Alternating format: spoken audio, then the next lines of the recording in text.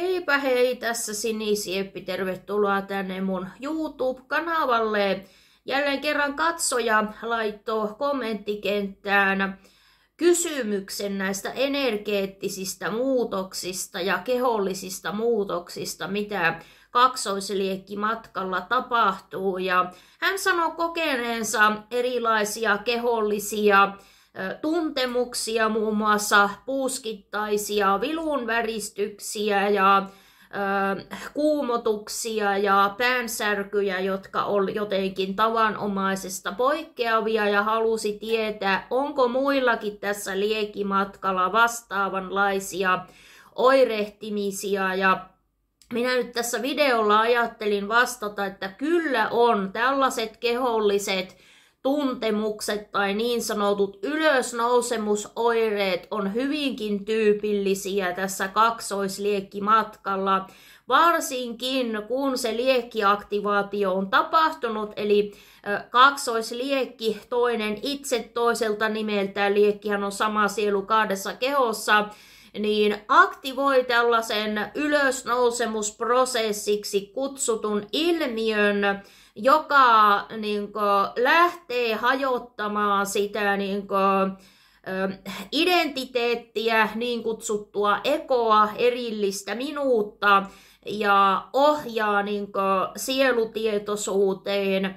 Ja kaksoisliekki monestikin aktivoi tämän kundalini-energian. Oikeastaan voisi sanoa, että lähes poikkeuksetta liekki aktivoi kundalini-energia, ja kundalini-energiahan voi olla aktiivinen jo ennenkin tätä liekkimatkaa oikeastaan minkä tahansa tällaisen ö, energeettisten ilmiöiden, selväaistien ö, heräämiseen tai henkiseen heräämiseen liittyy myöskin se kundalini-energian aktivoituminen. Ja kundalini-energiahan on elämän voimaa, joka tyypillisesti nukkuu tuolla meidän selkärangan tyvessä, juuri saakkarassa ja tällaisen jonkinlaisen henkisen aktivaation tuloksena se energia voi lähteä sieltä niin virtaamaan läpi meidän energiakeskuksien eli sakrojen kautta pyrkii ulospäin tuolta kruunu saakkarasta ja se on tämmöistä parantavaa energiaa, oikeastaan kundalini energia, seksuaalienergia, luova energia, luoja itsessään, niin ne on kaikki sama, sama asia. Ja myöskin kun kundalini energia on parannusenergiaa, niin ajattelin, että siitä syystä varmaan äh, näkyy näissä parannussymboleissa, ihan, ihan muinaisissakin sellaisissa tällaisia käärmeitä. Eli se käärme nyt ei kuvasta mitään paholaista käärmettä paratiisissa, niin kuin olen nähnyt jonkun jollakin videolla liittävän tuon ä, apteekin lokossa esiintyvän käärmeen siihen niin kuin, pafomettiin ja, ja, ja jollakin tavalla paholaisen palvontaan. Joo, no ne nämä ihmiset kyllä haluaa sitten liittää sen paholaisen joka asiaan ja aina löytää jostakin pahaa ja tuomittavaa, mutta laisinkaan tässä nyt ei ole kysymys mistään käärmeestä paratiisissa, vaan Tällä käärmesymboliikalla viitataan siihen meidän käärmevoimaan, sillä kundalini energiaa kutsutaan niin käärmevoimaksi, kun se sieltä lähtee. Ja näissä muinaissa symboleissa nimenomaan näkyy ne kaksi käärmettä kietoutuneena tällaisen spiraalin muotoon, tämmöisen pylvään ympärille. Ja se pylväs itse asiassa on se meidän keskuskanava energiajärjestelmässä. Eli meillä on se keskuskanava ja sitten sitä kiertää spiraalin muodossa tällaiset Ida ja Pingala nadit. Ja tuota, niitä pitkinhän se lähtee sitten se kundalini energia, eli käärmevoima, nousemaan tällaisen ä, aktivaation tuloksena. Ja tämähän on yksi tehtävä nyt siinä, että miksi ylipäätään näinä aikoina nyt sitten ihmiset tapaa niitä kaksoisliekkejä, niin koska nyt eletään tätä heräämisen aika. Ja toki henkisen heräämisen voi katalysoida mikä tahansa muukin ö, elämässä tapahtuva tämmöinen katalyyttinen tornimomentti, esimerkiksi menetykset tai kriisit tai niin edespäin. Ja moni saakin sen kutsumuksen parannuksen polulle ihan tällaisen niin äkillisen sairastumisen tai uupumuksen burnoutin kautta. Öö, mutta yleistyvänä ilmiönä on nykyään sitten se, että myöskin kohdataan niitä toi, toisia itsejämme, eli niitä kaksoisliekkejä, koska kaksoisliekki voi aktivoida tällaisen prosessin kyllä myöskin.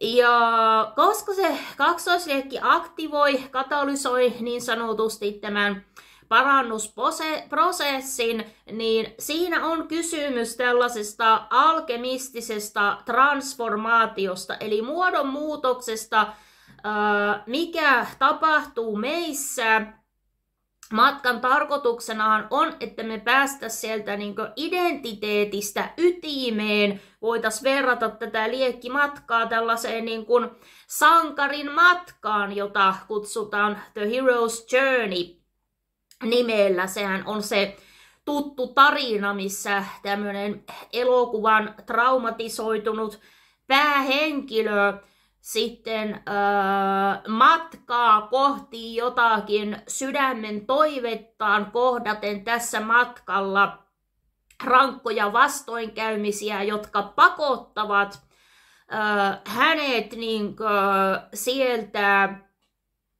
omasta identiteetistä, kuorist, kuor, kuorestaan, tornista, vankilasta, mielen vankilasta ulos, koska se mielen vankila on estänyt sitä niin tavoitteeseen päämäärään pääsemistä.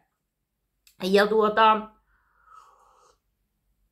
koska tässä matkalla tapahtuu tällainen kokonaisvaltainen muodonmuutos, transformaatio ekotietoisuudesta sielutietoisuuteen, öö, mielestä sydämeen, ja niin edespäin, niin se muuttaa, se aiheuttaa myöskin sitten kaiken näköisiä kehollisia tuntemuksia. Ja niille nyt ei tarvitse löytää mitään semmoista yksityiskohtaista selitystä, että minkä takia päätä särkee tai jotakin muuta. Monestikin tämmöiset niin lämpötilavaihtelut, vilunväristykset tai sitten vastaavasti tämmöiset kuumotukset ja punotukset, niin nehän liittyy energiaan. Kylmä energiahan on korkeavärähteistä energiaa, jota kun virtaa, niin silloin saatetaan tuntea niitä NS-kylmiä väristyksiä. Silloin niin meihin virtaa niin kor- korkeavärähteistä energiaa tai sielu tunnistaa. Olen huomannut myöskin, että kun sielu tunnistaa totuuden jossakin asiassa, joku asia resonoi, niin energia vastaa sitten tämmöisten niin väristyksien kautta. Kuuma energia vastaavasti on parantavaa energiaa ja kundalini energia voi tuntua tämmöisenä tosi kuumana energiana, että tätä olen itsekin kokenut, että kun on aktivoitunut joku tällainen parannusprosessi, niin ihan saattaa hiki valua ja posket punottaa niin kuin kommentoijallakin ja tosiaan ne keholliset tuntemukset voi antaa vähän merkkejä siitä, että missä kohdin ja mitä asioita mahdollisesti se kundalini energia sinussa nyt puhdistaa, parantaa ja työstää parhaillaan. Esimerkiksi päänsärky voi liittyä kolmannen silmän aktivoitumiseen, joissain tapauksessa jopa niin kuin, yliaktivoitumiseen, että silloin tarvitaan niin kuin, esimerkiksi maadotusta, eli silloin olisi hyvä vahvistaa maadotusta, käydä vaikka ulkona kävelemässä, keskittyä maallisiin asioihin, kehollisiin toimintoihin, keholliseen toimintaan, siihen, mikä on niin fyysisillä aisteilla havaittavissa, Ja se on myöskin niin tämmöinen mindfulness-tekniikka. Mindfulness sopii hyvin maadotuksen. Itse on oppinut tämän, tämän liekkimatkan tuloksena, kun oli pakko keksiä, että miten sieltä niin mielestä pääsee ulos mielen tarinoista, koska tämä matka on niin henkisesti kuin fyysisestikin erittäin haastava. Ja siinä saattaa tulla semmoisia pahimmassa vaiheessa sielun mustan yössä monillakin on semmoisia kokemuksia, että olenko minä ihan hullu tai tullut hulluksi ja saatetaan jopa hakeutua sitten johonkin hoitoon tai sitten saattaa tulla kaikenlaisia näitä kehollisia tuntemuksia, kuten ö, rytmihäiriöitä tai sitten jos se ydinhaava aktivoituu, liekkiaktivaation tuloksena liekki aktivoi meidän ydinhaavat ja ne voi tuntua missä tahansa sakrassa yleisimmin, tai ainakin itsellä on aktivoitunut niin sydämen haavat ja, ja niin sydänkeskus on oireillut hyvin monella eri tapana. Se voi tuntua ihan fyysisenä kipuna joko vatsan, lantion tai tuossa rintakehän alueella saattaa tulla rytmihäiriöitä. Itsellä tuli niin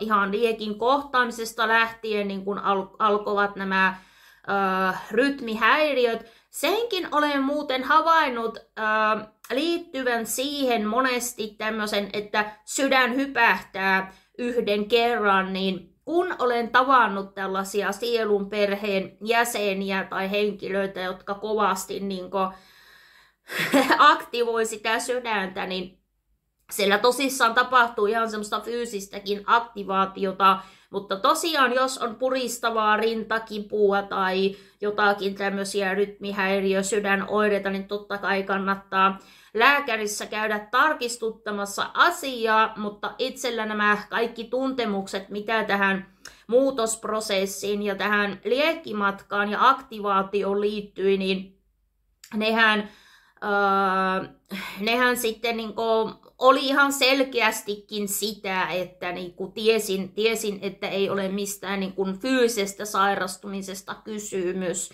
Mutta kun se kunnallinen energia aktivoituu ja tämä parannusprosessi aktivoituu, sielun musta yö ja koko tämä homma, niin se käynnistää hyvin kokonaisvaltaisen tämmöisen äh, elimistön ja mielen äh, puhdis puhdistusprosessin, voitaisiin sanoa niin semmoisen detox-vaiheen.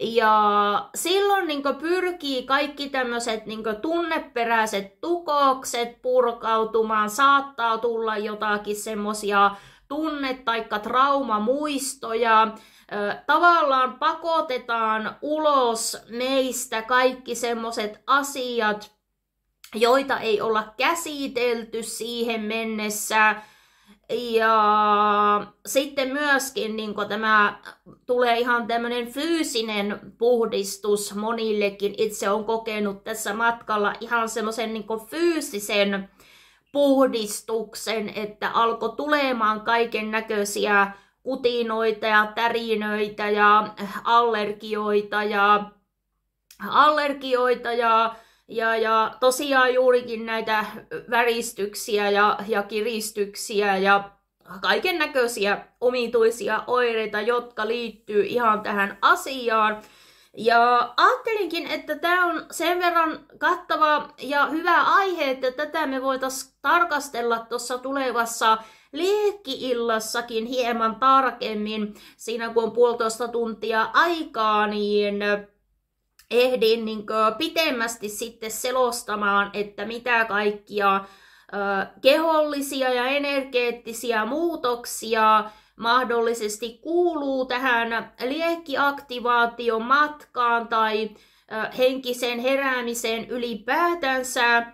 Ja mulla oli aikaisemmin tarkoituksena ottaa tähän lähetykseen nimenomaan sydämen parantamista, koska itse olin sellaisessa vaiheessa, että edelleenkin niin jotakin semmoista pientä surua nousi käsittelyyn ja silloin öö, sain selville sen, että niin kauan kun joku asia nostattaa meissä sitä kipua, surua esimerkiksi käsittelyyn, niin niin kauan meillä on niitä parantamattomia haavoja.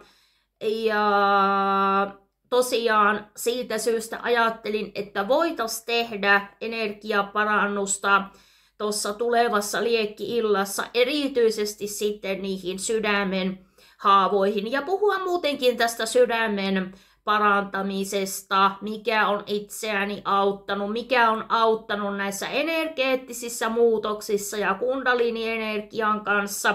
Voin tässä lyhyesti antaa vinkkinä, että mindfulness on e- ehkä se kaikkein paras juttu, minkä tämä liekkimatka on avannut, että osaa tulla sieltä mielestä ulos, kun suurin osa on identifioitunut hyvin vahvasti siihen omaan rooli minään, mielen luomaan minuuteen, sen kertomiin tarinoihin ja tähän fyysiseen kehoon, niin silloin on aika lailla sen niiden omien ajatusten pompoteltavana ihminen ja voi tosiaan olla semmoista niin mielikuvitus maailmassa elämistä ja tarinoihin uppoutumista ja, ja, ja ja pelkoa siitä mielenterveyden menettämisestä ja vastaavasti sitten vaikea maadottua. Myöskin uniongelmat voi liittyä tähän matkaan, painon vaihtelut voi laihtua valtavasti ja sitten yhtäkkiä tulla paljon painoa takaisin. Jommin kummin tällaisia on ihmiset kokeneet tässä prosessissa. Sillä meidän fyysinen keho uudistuu, muuttuu ihan samalla kun se meidän niin henkinen, ö, henkinen, ö, henkinen juttu muuttuu, tai voitaisiko sanoa, en halua sanoa henkinen minä, koska sitten sekin on vähän semmoinen niin kuin erillisyys juttu, mutta kun se meidän tietoisuus muuttuu, tässähän on kysymys tietoisuuden muutoksesta, sieltä niin ekotietoisuudesta sielutietoisuuteen, siihenhän se niin liekki lähtee aktivoimaan tässä prosessissa, niin kun meidän tietoisuus muuttuu, samalla myöskin kaikki tässä 3 d pikkuhiljaa muuttuu, mutta tämä prosessi muistuttaa semmoista niin perhosen toukan kotilo, kotiloitumisvaihetta, että ne ulkoiset muutokset ei välttämättä tule niin nopeasti. Tässä voi olla se sisäisen työskentelyn aika ja jakso hyvinkin pitkä ennen kuin sitten alkaa näkemään tässä 3 d ja niitä fyysisiä ää, muutoksia sitten. Mutta joo, kaiken näköiset tämmöiset keholliset tuntemukset, hyvinkin tyypillisiä tässä liekkimatkalla ja kerron niistä lisää tulevassa kaksoisliekki-illassa sitten 22. päivä kello 19.00 alkaen. Tervetuloa mukaan jäätallenne lähetyksestä, jos ei pääse reaaliaikaisesti katsomaan, niin voi katsoa jälkikäteenkin ton lähetyksen ja se on alkaen 11 euroa osallistumismaksu. Tuosta alalaatikosta voit ilmoittautua mukaan ja jos teillä tulee muita kysymyksiä, mä saan näistä hyviä aihe ideoita tuleviin videoihin ja lähetyksiin, niin laittakaa vaan kyssäreitä tulemaan sitten. Hei hei!